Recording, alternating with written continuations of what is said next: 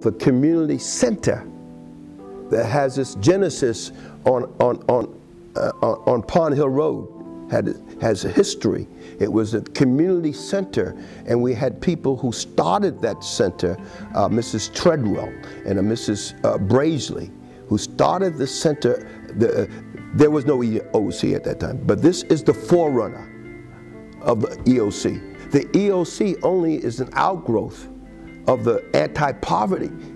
It, it, it, was the, the, the poverty when, when, when Johnson signed the bill if you, if you, if you recall, I forgot what it, but that's, and they received monies to be able to stimulate communities.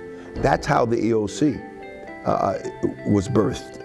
Oh, the earlier years of the Manhasset Community Service Center were great years, great years. Um, there were a lot of activities, as I stated before, at the Manhasset Community Service Center. Now, when I talk about activities there, I'm talking about activities from the science club, to basketball.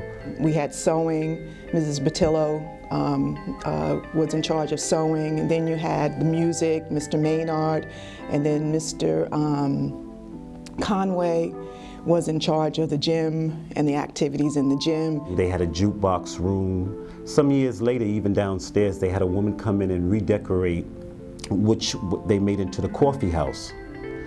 Um, there were sponsored trips out of the community to see shows on Broadway, to go to certain events. Even the basketball team had a, a league in which they uh, played against other centers in the Long Island area. So there was always, and then Mrs. Brazeley, she had African dance. She would always, there was always activities going on um, during the week.